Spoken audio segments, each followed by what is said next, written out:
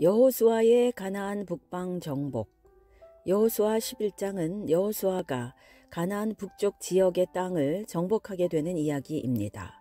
여호수아 10장은 가나안 남쪽 지역을 정복한 이야기였고 이로써 약 7년에 걸친 가나안 정복 전쟁은 완료됩니다. 이제 12장부터는 마지막 24장까지 가나안 땅 분배에 관한 기록입니다.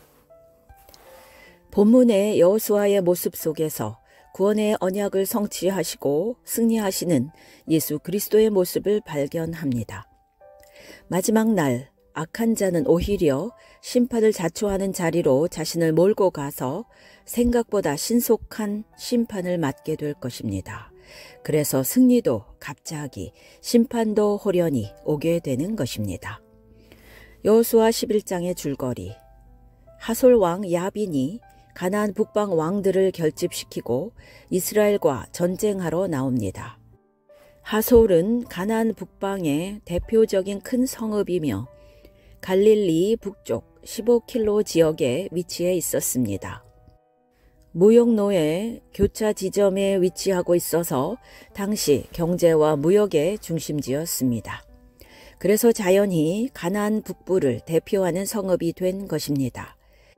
그래서 북부 연합군이 하소를 중심으로 결집되었는데 그들의 숫자는 해변의 모래같이 많았고 말과 병거도 많았습니다. 여호와께서 여호수아에게 그들을 두려워하지 말라고 말씀하시며 내일 이맘때에 그들을 넘겨주어 몰살케 하시겠다고 말씀하셨습니다. 너희가 적의 말 뒷발에 힘줄을 끊고 병거를 불사르게 하겠다고 하셨습니다. 결국 하나님이 약속하신 대로 여호수아와 이스라엘이 메론 물가로 가서 갑자기 급습하여 그들을 격파하고 승리하였습니다.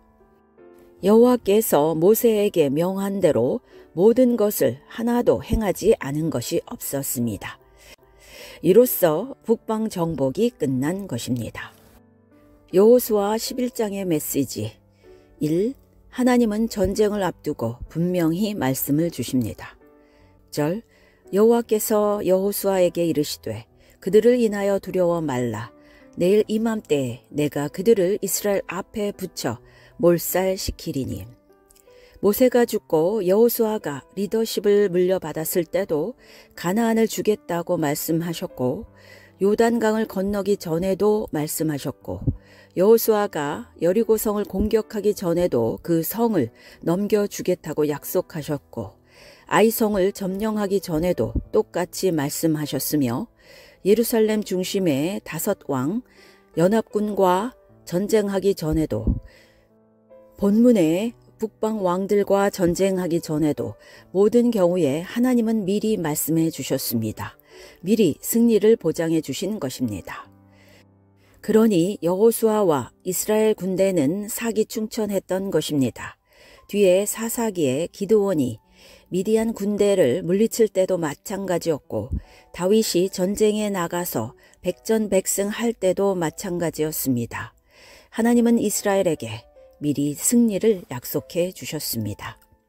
그래서 오늘날에도 하나님의 음성을 듣고 행하라는 말이 회자됩니다. 물론 하나님이 승리를 약속해 주셨다고 해서 과정에서 두려움이나 어려움이 없는 것은 아닙니다. 그러나 결과를 훤히 알기 때문에 전쟁하는 과정에서 마음이 놓이는 것입니다. 안달 초조해 하지 않습니다. 그래서 보통 성숙한 신앙 선배들이 하는 말로 거룩한 수동태라는 표현이 있는데 하나님의 일은 하나님이 분명히 말씀하시기 전까지는 좀 수동태로 기다리라는 것입니다. 하나님의 음성도 듣지 않고 자기 생각에 이게 하나님의 뜻이다 싶어서 경솔하게 뛰쳐나가지 말라는 것입니다. 그렇게 시작한 일은 대부분 다 실패로 끝나게 됩니다. 참고로 가나안 정복 전쟁이 약 7년이 걸렸는데 실제로 전쟁을 치른 기간은 며칠 되지 않습니다. 전장으로 이동 시간까지 다 합쳐도 채 한 달도 되지 않을 것입니다. 그리고 남방 왕들을 공격할 때나 북방 왕들을 공격할 때나 여호수아가 취한 작전은 언제나 기습 공격이었습니다. 어쨌든 가나안 정복 기간 7년 사이에 나머지 6년 11개월은 그저 기다리고 있었다는 것입니다. 거룩한 수동태로 있다가 필요할 때만 효율적으로 움직였습니다. 이스라엘이 가나안을 차지하는 것은 명백한 하나님의 뜻이었습니다. 그러나 그들은 그게 하나님의 뜻이라고 무조건 돌격 앞으로 해서 저돌적으로 나간 것이 아니라 대부분의 시간들은 기다리고 기다리다가 하나님이 전투로 인도하신다는 확신이 들 때에만 전투에 임했으리라고 봅니다. 그때 하나님은 보통 그 전날에 여호수아에게 말씀하셔서 그 전투의 승리를 보장하셨던 것입니다. 2. 전리품으로 얻은 말의 힘줄을 끊고 병거를 불사르라. 6절 나 여호와가 그들을 이스라엘 앞에 붙여 몰살시키리니 너는 그들의 말 뒷발의 힘줄을 끊고 불로 그 병거를 사르라. 9절 여호수아가 여호와께서 자기에게 명하신 대로 행하여 그들의 말 뒷발의 힘줄을 끊고 불로 그 병거를 살랐더라. 말의 뒷발 힘줄은 한 번 잘리면 다시 회복될 수 없다고 합니다. 하나님은 이스라엘로 하여금 가나안 북부 연합군과의 전투에서 승리 후 전리품으로 얻은 말의 뒷발 힘줄을 끊음으로써 말을 전투용으로 더 이상 사용하지 못하게 하셨고 또한 병거를 불사름으로써 이방 족속들의 전투 방식을 따르지 못하도록 명령하셨습니다. 말과 병거와 사람 이외의 재산은 가질 수 있었습니다. 단 여리고 성 제외. 평생을 군인으로서 살아온 여호수아가 전쟁의 가장 큰 노획물인 말과 병거를 아낌없이 못쓰게 만들었다는 것은 참으로 큰 신앙이었습니다. 이것은 인간적으로 보면 허세를 부리는 게 아닌가 하는 생각이 들 정도입니다. 주머니에 아무것도 든 것이 없는 단벌 신사가 마치 큰 부자 행세를 하는 것처럼 이스라엘과 여호수아는 말들의 힘줄을 끊고 병거를 불살라 버렸습니다. 다 돈 되는 것들인데요. 하나님이 이렇게 명하신 이유는 이스라엘을 여전히 악조건 속에 두시는 것입니다. 너희들은 말의 숫자와 물질의 힘으로 강해지는 것이 아니라 나 여호와 하나님만을 의지함으로써 강해지는 것이니 그 라이프 스타일로 계속 살라는 것입니다. 즉 이스라엘이 말의 숫자나 가진 물질로 스스로 만족하여 하나님을 간절히 의지하는 신앙과 믿음이 약해질까봐 하나님은 그것들을 끊고 불사르라고 하셨고 순진하게도 여호수아는 그 말씀대로 행하여 많은 권리를 스스로 포기하고 말았습니다. 내려놓음이었습니다. 과거 고대에는 특별한 산업 기반이 없었기 때문에 전쟁이 가장 큰 재화 획득과 자산 증식의 한 수단이었습니다. 그런데 이스라엘은 정말 세상 방식과는 정반대의 전쟁을 치른 것입니다. 그럼으로써 하나님의 백성으로서의 프라이드를 보여주었습니다. 우리가 돈 때문에 전쟁하는 것은 아니야. 우리는 하나님의 사명 감당으로 전쟁하는 거야. 그래서 에스더서에서 유대인들도 불임절날 대적들에게 보복하되 그들의 재산에는 전혀 손을 대지 않았습니다. 그래서 오늘날에도 하나님은 자기 백성, 자기 사역자들을 가난에 처하게도 하실 때가 있습니다. 집칸 늘리며 통장 숫자 늘리는 목적으로 아예 살지 말라는 것입니다.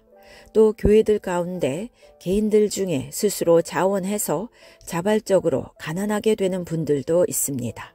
하나님을 전적으로 의지하기 위해서입니다.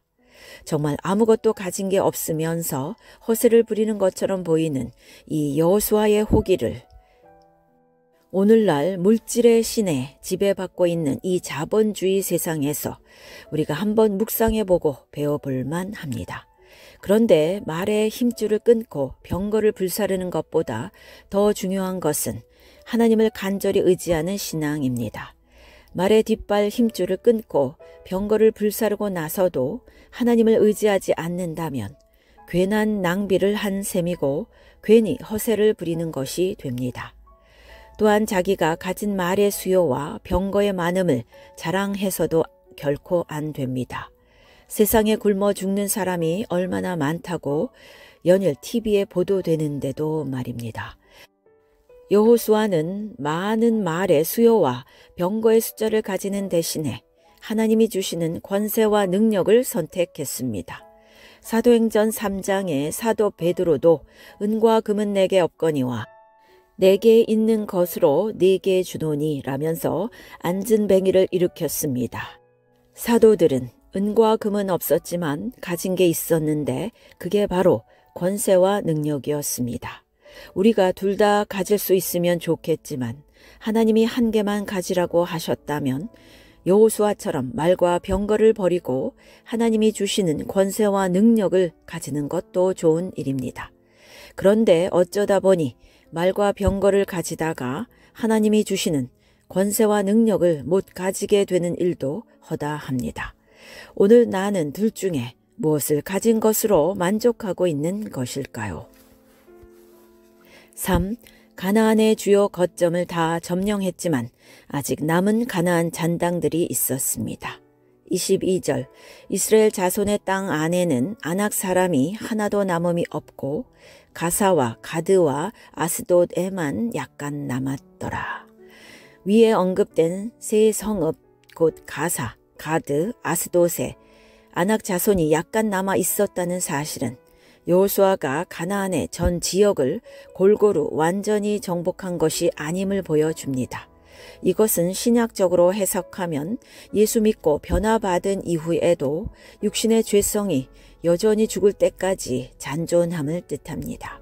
그래서 가나안 잔당들과의 전쟁은 여호수아가 죽은 후 사사기 시대에도 계속 이어지는데 사사기 시대에는 그 잔당들이 힘을 키워서 오히려 이스라엘 일부 지파를 몰아내는 일까지 생깁니다. 사실 정복 전쟁은 내륙의 평지와 산악 지대를 중심으로 수행되었기 때문에 지중해 연안 해변 지역은 여호수아의 손길이 닿을 수 없었습니다. 그러나 가나안의 주요 거점들은 거의 대부분 이스라엘이 장악한 상태였기 때문에 실상은 가나안을 이스라엘이 점령했다고 볼 수 있는 것입니다. 그리고 남은 지역들은 그 지역을 분배받은 각 지파의 점령 대상지로 남겨졌던 것입니다. 그래서 남은 가사, 가드, 아스돗의 아낙 자손들은 후에 이스라엘의 대적이 됩니다. 가사, 오늘날의 가자는 삼손이 들릴라와 연애하다가 붙잡혀서 맷돌을 돌린 곳이고 가드는 골리앗을 배출한 도시이며 아스돗은 법계가 빼앗겨서 다곤 신전에 머물렀던 곳이었습니다. 그런데 여기서 가사, 가드, 아스돗 외에는 다 몰아냈다는 말은 아낙 자손에게만 해당되는 말입니다. 가나안에는 아낙 자손 말고도 대표적인 여섯 족속이 더 있었으니 가사 가드 아스돗의 아낙 자손 말고도 여러 아모리 족속의 잔당들이 마치 옷에 얼룩 묻은 것처럼 가나안 전국 여기저기에 흩어져 있었습니다. 그들은 이스라엘이 안 쫓아내기도 했고 못 쫓아내기도 했습니다. 안 쫓아낸 것은 그들 규모가 작기도 했거니와 그들을 질멸하기가 아까웠던 것입니다. 그래서 그들과 교류하며 살기 원했고 종으로 삼기 원했고 그들의 육축을 취하기 원했던 것입니다. 그래서 안 쫓아낸 자들은 너희 옆구리에 가시가 되며 그들의 신들은 너희 올무가 될 것이다 라고 여호와의 사자가 꾸중했습니다. 사사기 2장 3절 사사기 실제로 그렇게 되었습니다. 살려둔 새끼 호랑이가 나중에는 위협적인 큰 호랑이가 된 경우입니다. 그리고 그들이 더욱 강력해서 못 쫓아낸 경우도 있었습니다. 우리 속에도 가난 일곱 족속이 있으며 그것은 탐욕, 우상 숭배, 정욕, 거짓, 시기, 분쟁, 반역 등이 있습니다. 그것들을 한때 내가 다 쫓아낸 것 같은 요수아 시대를 우리가 살 때도 있고 그 잔당들이 남아서 내 옆구리에 가시가 되어 찌르는 사사기 시대를 내가 살 때도 있습니다. 내가 날마다 성령 충만하여 살면 가나안 일곱 족속은 그 위력에 눌려 꼼짝도 못하고 숨어 지내게 됩니다. 그러나 내가 성령 충만을 잃어버리면 숨어 지내던 가나안 일곱 족속들이 스멀스멀 기어나오게 되어 나를 괴롭히게 되고 나와 싸워 이기게 되고 심한 경우 포로로 나를 잡아가기도 합니다. 하나님이 쫓아내라고 하신 것들은 쫓아내는 것이 이익입니다. 하나님이 쫓아내라고 하신 것들을 애지중지 품고 있으면 그만큼 사사기 시대를 살게 되는 것입니다. 가나안 정복 전쟁은 오늘날 내 앞에도 있는 전쟁입니다. 나는 그들을 정복하고 내어 쫓는 여호수아 시대를 살아가고 있는가? 아니면 그들에게 정복당하고 내어 쫓김 당하는 사사기 시대를 살아가고 있는가요? 아멘.